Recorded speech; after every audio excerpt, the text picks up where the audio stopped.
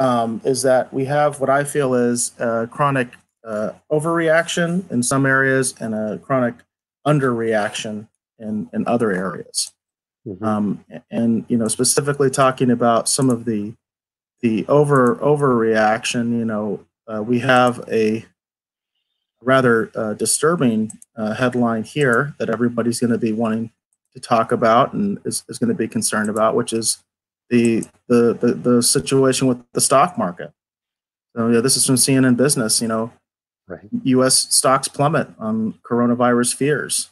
Uh, yeah, over two thousand points today. Yeah, another so, another bad day on Wall Street. Yeah, so you know we've got uh, says uh, markets plummeted Monday over coronavirus fears. The Dow had its worst day since 2008. 2008 is a dirty word to me. Uh, tumbling more than 2,000 points after a trading halt and the biggest oil crash in nearly 30 years. And, and I, I, want to point out also the things that they emphasize in these articles. Um, the media is not your friend. Uh, they are going to make this story as bad as they possibly can. Uh, global oil markets plunged after the Im- implosion of an alliance between OPEC and Russia caused the worst one day crash in crude prices in nearly 30 years. And I do love the fact that um, Saudi Arabia and Russia in the middle of all this uh, can't just get their act together and and not create a oil war in the middle of all this when apparently oil is probably going to be a much lower demand uh, probably as a result of coronavirus. Um, yeah it, it's nice to see that these these governments can't get their act together and never will. So i mean that's just i guess the way it is. And it says your european and asian markets closed lower as well so um, this is something that a lot of people are concerned about. I'm very concerned about it, uh, simply because I, I do actually uh, use a 457 uh, to supplement my own income, and uh, I can see the losses, the daily losses that are occurring on on, on my account. Um, so that that's a case where I would say we're having, I think, a massive overreaction uh, to Corona, uh, where where the stocks are are plummeting uh, like this. Again, I don't think Saudi Arabia and Russia are helping the situation. I think they made it worse uh, with their little oil war that they're having right now. Um, but uh, at the same time, uh, I, I, think we're, we're looking at a, at a huge overreaction there because it, it comes down to uncertainty. Um, people don't really know what's going to happen. And so then you get a kind of a sense of panic uh, that happens because people are not sure what's going on and that's I think where the government can have can have a really positive role uh, in in providing good information and things like that. But right now, people don't feel like they're getting good information. You know, I'll, I'll give you a good example of this, and and I think that this is a this is a fair point to make. Uh, when you talk about masks, right now the government says, well, you don't need masks. Masks aren't important, and and that's what that is is basically kind of a half truth. Uh, masks aren't going to necessarily help you in your day-to-day life as you're walking around town and things like that. That's not where the masks are really going to help you but but they're very important if you become sick. Now and why is you, that? Because you're you were a first responder. Why would the masks not help you as you're walking around? It's not that they won't necessarily help you. Uh, mm-hmm. the well, well the issue in particular with corona is that the particulate of corona is too small even for an n95 mask Mm-hmm. Uh, that that's something that that they've that this is something that the scientists are saying. This is through testing and all that. They're saying oh. the, the, the coronavirus is small enough that it can pass through the N95 mask. So wow, I thought the N95 was like the professional one that kept you safe. No, I mean that's that's that no, that's not true because the N95 mask is is basically it's your industrial mask. It's it's the mm-hmm. mask that's most commonly used, um, you know, in a large scale to protect people. But but where do you see uh, N95 masks uh, sold in, in, in large in large bulk? It's at Home Depot and Lowe's. You know what I mean? Th- those are the places that sell N- N95 masks and have been selling them for a long time. If you go to uh, Walgreens, yes, they'll they'll have some. Uh, they, well, right now they won't, but they used to have N95 masks. But they sell a lot of the surgical masks. Mm-hmm. Now, the value, the real value of both of those masks, okay, is in people that are already sick and it, it can help uh, when they're when they're coughing and they're sneezing and all that kind of stuff. And it can help them from spreading the illness. So what i'm trying to say is when it comes to the mask the, the masks are a, a, good part of your emergency kit and, and, kind of an essential one. In particular if you live with anyone because if if that person that you live with becomes sick you're going to want to have that mask for them and yourself Mhm. uh, because it does reduce when in other words it's reduced it's most effective when both the caregiver and the person being cared for both are wearing the masks. Uh, generally you'd put a surgical mask on the person who's sick and you'd put an n95 mask on yourself you know what i mean as a caregiver. And that's going to reduce the chances because you're both wearing masks it's going to reduce the chance of you transferring it. And of course you also want to wear gloves. One thing i think is funny is like my local Walgreens down the street, uh, I've been looking and and there's no masks available, but but gloves are still available, and I'm I'm sitting here thinking, well, why aren't people buying gloves and masks? If if you're so concerned about this and and you're going ahead and you're buying a mask, why aren't you buying gloves? You're much more likely to get this uh, get sick because you touched something and then touched your face, and and that's all over the place. That's that's everywhere. Everybody's saying that but people hmm. don't seem to get it because I don't see people running around with, with gloves on. They'll wear masks, but but gloves that's too much. That's that, that's weird, you know. that's extreme. You know, hmm. I'm, I'm not going to wear gloves out in public. I'll, I'll wear a mask, but I'm not going to wear gloves. Um, but the gloves are probably actually going to be more effective. The, the hmm. other thing I want to say is is with with masks, they are effective in terms of psychology because they keep you from touching your face. As long as you're not scratching your nose and breaking the seal and things like that, they they can help because you're not, you're going to be more conscious about touching your face. And when it comes to not touching your face, you know, a, a cloth mask will be will do just as good as a surgical mask or an N95 mask in keeping you from touching your face. Uh, in fact, that during the Spanish flu, that's all they had. And there's all sorts of images of police officers and all sorts of people. There, there's all sorts of images from from the Spanish flu of 1918 where you see people wearing those cloth masks. In fact, my understanding is. Uh, that's one of the reasons that it became so popular in Asia is because in Japan they started giving everybody masks during the Spanish flu of 1918. Mm-hmm. That's how it kind of got ingrained in the culture. That's why you see a lot of Asian countries where they do wear the masks. Uh, but um, yeah, I, I, just think it's it, again, it's a half truth, and that's the problem. Is, is when people see those half truths, uh, they start to lose faith in their government because uh, instead of the government saying, "Hey, we've got a real shortage of masks, and this is really the good uses of them. So if you're not going to use them for this or that, uh, please don't buy them. You know what I mean? Uh, right. it, it's a good thing to have, again, because if you get sick, uh, you should definitely have one on if you have to leave your house. You shouldn't really be leaving your house if you're sick, but if you are, you have to because some people are going to, especially if they live alone. And uh, the fact of the matter is, uh, most of the people that get this, um, they're talking 80% 80% of the people that get this will have only mild symptoms. That's 80%. That's that's that's mm-hmm. data coming out of China where, where we have the biggest outbreak, where we have the most data. So they're, they're saying 80% of the people that get this are going to have mild symptoms. Now, now, now, yeah. And, and one of the things um, that I also find interesting is uh, when you talk about experts and they're, they're, they're talking about what's going on, they're talking about numbers, you have to realize that these numbers are not correct and the reason they're not correct is because we know that a lot of people that get this do not become systematic. So unless they're in a cluster, they are not going to be tested ever. They're never going to be tested. You're never going to know they had the coronavirus.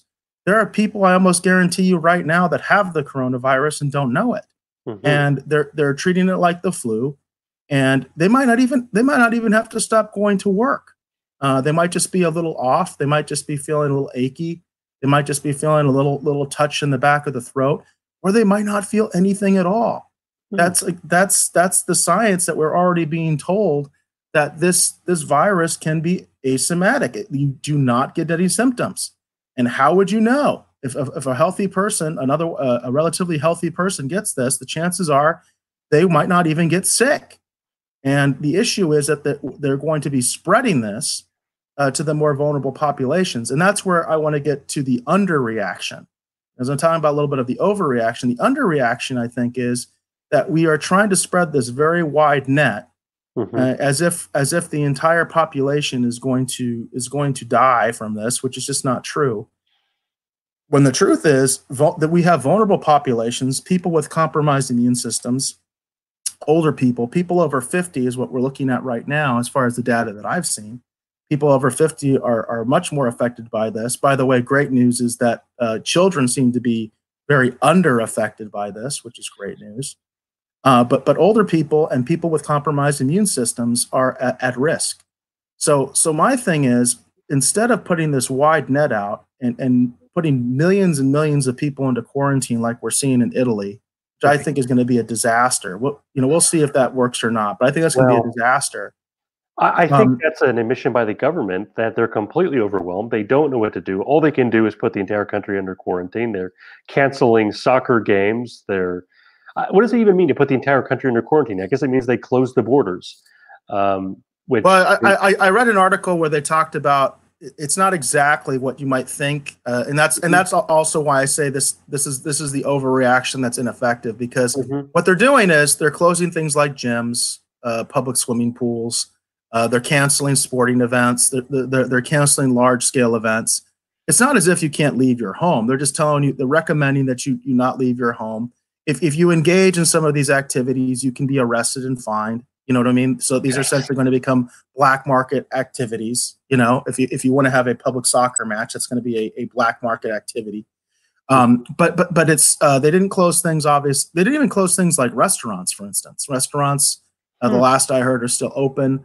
Uh, if you go to a restaurant, you're supposed to have something like a five, like a five feet square around you. You know what I mean? Of, of no contact with other people, which I don't know exactly how that works with your server and all that kind of stuff. It's it, it, it gets to sound silly. The logistics of it are silly.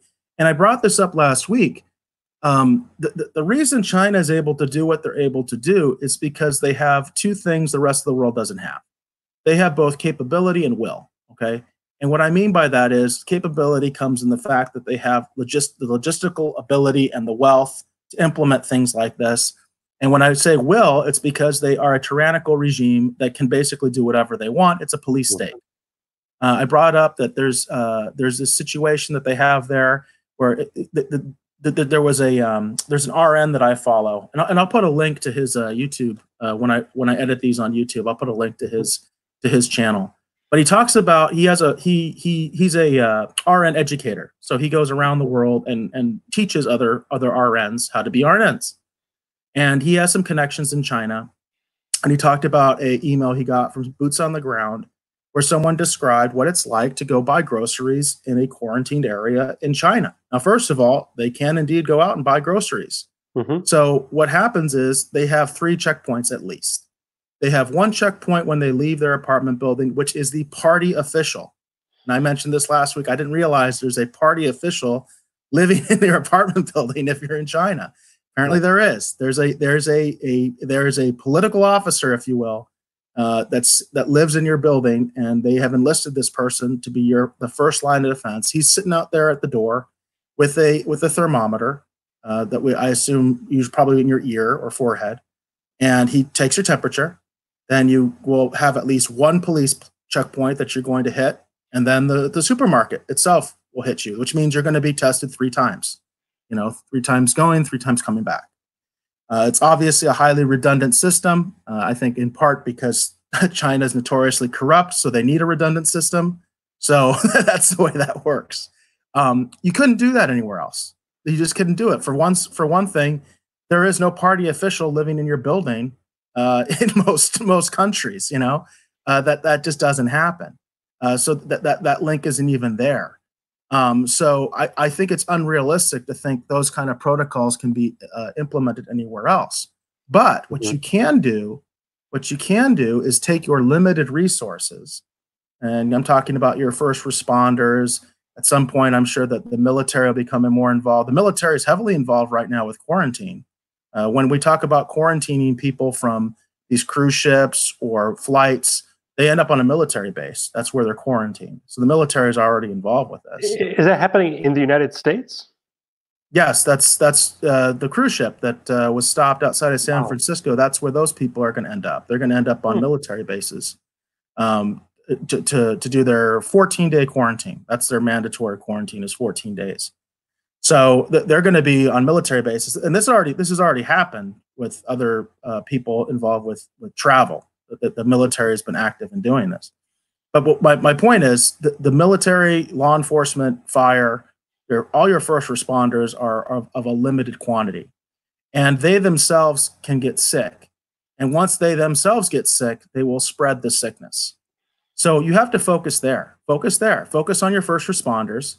Uh, make sure that they have uh, proper equipment, proper procedures. That includes procedures for for dealing with them being sick. You know, uh, a lot of uh, a lot of first responders will work sick. It's part of their mentality, and and they they don't think a whole lot about it. In this case, it's a, it, it can be a death sentence to someone. Absolutely. So so, but but but specifically, what, what I and what I want to uh, what I'm trying to emphasize is we need to look at vulnerable populations. Stop this idea that if you're healthy, that you're going to die from this, and you need to stockpile toilet paper. You know what I mean? Like, mm-hmm. what we need to do is focus our attention and our resources on the vulnerable populations. Again, those are people with compromised immune systems and older people. Uh, over 50, the, the, the more the, the more over 50 you are, the more at risk you are. So the thing is, you, you have to look at those vulnerable populations. I mean, the outbreak in um, in Washington happened at a nursing home, uh, and and that really gets to me because I have a father, an elderly father in a nursing home, mm-hmm. and that's the place that needs to be protected. That's the place that we need to have some safeguards. That's the place where we should be focusing our efforts hospitals we should be focusing on because hospitals could become a breeding ground for this ironically you know uh, you don't necessarily want to go to the doctor right now if you're sick honestly unless you're chronically ill you want to just stay home and self quarantine and and first of all not infect other people but also you don't want to infect the doctor's office the the, the urgent care office. You don't want to infect the hospital. And we're not talking about these things because we're not talking about people will still have the same health problems they had before when corona is is is raging.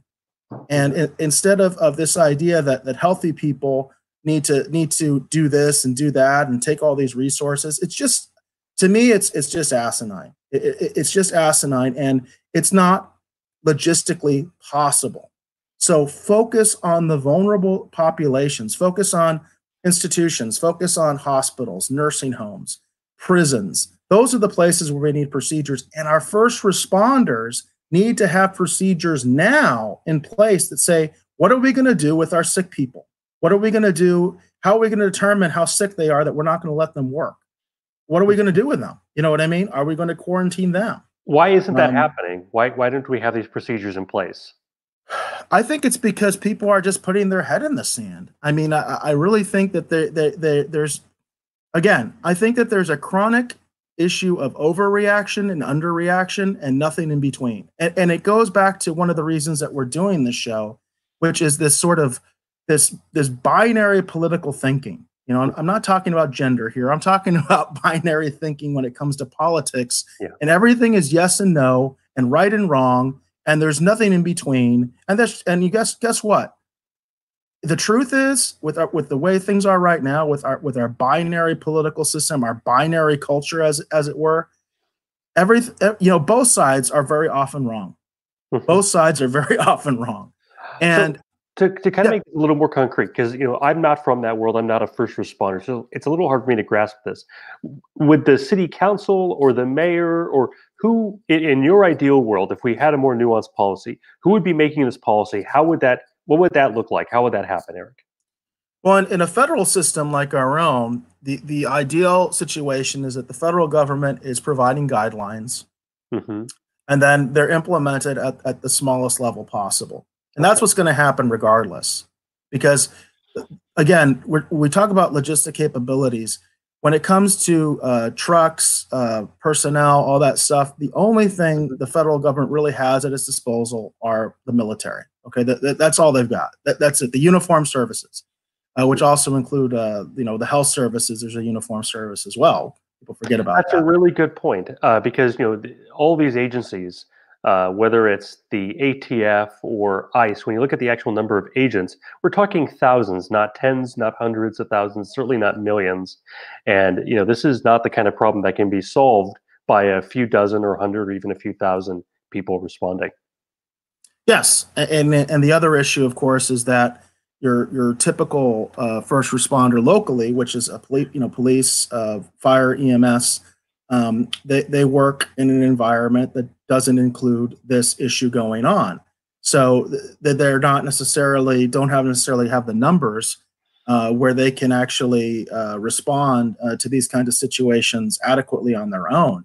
Uh, that's why you have things like CERT, for instance, what the, uh, the, the, fire department has, which is a, a civilian uh, auxiliary essentially that the, mm. the, fire department has, uh, which is which was uh, which is a fascinating history, by the way, because this actually started in L.A. and then it was it was a program that they liked, and then it was adopted nationally.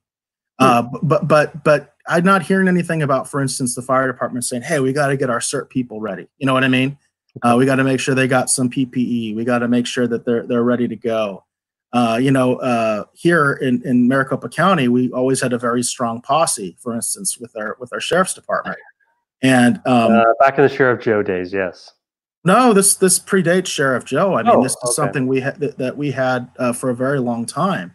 Um, and under under the current regime with uh, Penzone, uh, the the the the posse's been decimated and not and by the way i don't i don't fault him for that because a lot mm-hmm. of what happened was they found out that a lot of the posse members were not properly certified and i don't fault him for for saying that okay well this is this is unacceptable you know what i mean uh, but but at the same time uh, uh, organizations like that are very helpful in a crisis like this but again with first responders you have to have procedures in place to deal with people being sick and think of it in a way that we don't think of it typically because again I will tell you in the culture, people will go to work sick. It's not it's not an atypical kind of thing.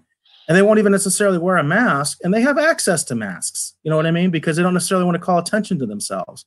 So because uh, that was one of the things um, that, that, that I noticed a lot was, for instance, if we had somebody with tuberculosis, that's an air, airborne airborne disease, right?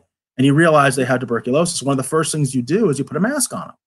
You don't necessarily everybody doesn't put a mask on themselves, they put a mask on the patient, you know, and that's something that's that's that's very very very typical. And and you're talking about an airborne virus there that can be very serious. So you're you're you know that that that's the proper procedure. But the issue is, again, when you're talking about your first responders, um, they have to be able to to understand. Um, they have to be able to understand that they need to have procedures in place that are different than the typical when it comes to their own people being sick because they're going to be the method of trans- transmission if we're not careful. That's kind of the last thing I want to say about that. Okay. Well, that's that's a lot of good that's a lot of good information. Um, uh, you know, you, you started about uh, with the, with the topic of you know coronavirus versus liberty that that these crises are really hurting our, our freedoms, but it seems to me that it's it's not the crisis so much but the fact that we absolutely lose our minds, and we're not able to coordinate uh, in a in a sensible way um, when these things happen, we just don't know how to respond. And so the easiest thing to do is to overreact. Absolutely, but but I will say I also think there's underreaction. And like I said, the, the, that's the example I give with the, the the public safety and and and you know they have to deal with that, and they're not. And right now, I don't think they are. I really just don't think they are. All right.